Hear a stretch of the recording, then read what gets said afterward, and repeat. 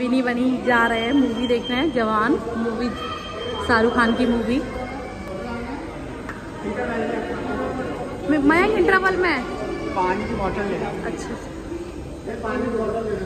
विनी कैसा लग रहा है आपको मूवी देखने जा रहे हो? विनी बहुत खुश है। ये ले लो हाँ।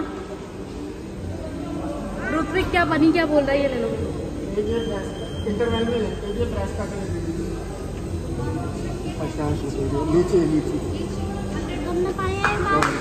जाना हैं?